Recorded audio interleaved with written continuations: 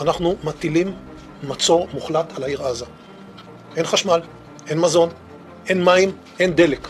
הכל סגור. אנחנו נלחמים בחיות אדם, ואנחנו נוהגים... ये इसराइल के वजीर दिफा युवा ग्लांट हैं जिन्होंने आज एक मीटिंग में गजा की मुकम्मल नाकाबंदी करने का ऐलान करते हुए गजा की बिजली काटने खाने पीने की अशिया और ईंधन की सप्लाई रोकने के अहकाम जारी कर दिए हैं इसराइल और फ़लस्तीन के दरमियान जारी जंग में अब तक गजा के 510 अफराद जाम बहक जबकि 3000 से जायद ज़ख्मी हुए हैं।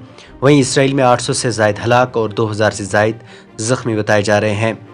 दूसरी तरफ़ आलमी मीडिया रिपोर्ट्स में बताया गया है कि हमास के जंगजू सोमवार के रोज़ इसराइल के जनूबी इलाके से सरहद में घुसे, जहाँ उन्होंने टैंकों के ज़रिए बाढ़ को भी ख़त्म कर दिया। उधर फ़लस्तनी वजारत खारजा के मुताबिक इसराइल की जानब से गजा में अकवा मुतहदा के स्कूल को भी निशाना बनाया गया, जहाँ हज़ारों आम शहरी मौजूद थे, जिनमें बच्चे भी शामिल थे, जबकि अकवा मुतहदा की जानब से भी स्कूल को निशाना बनाने की तस्दीक की गई है।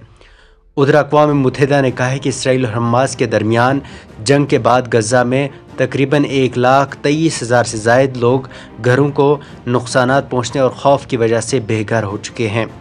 अकवा मुतहदा के मुताबिक गजा में तिहत्तर हज़ार से जायद अफराद ने स्कूलों में पनह ली हुई है। अकवा मुतहदा के इंसानी हकूक़ के इदारे के तर्जुमान ने बताया कि गजा पर इसराइली हमले से कबल यहाँ दो अशर तीन मिलियन अफराद रहश पजीर थे।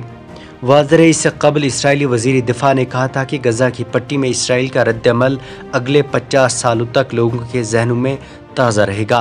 हम हमास कोई लड़ाई शुरू करने पर पछतावा होगा। Bureau report. नो के कलम।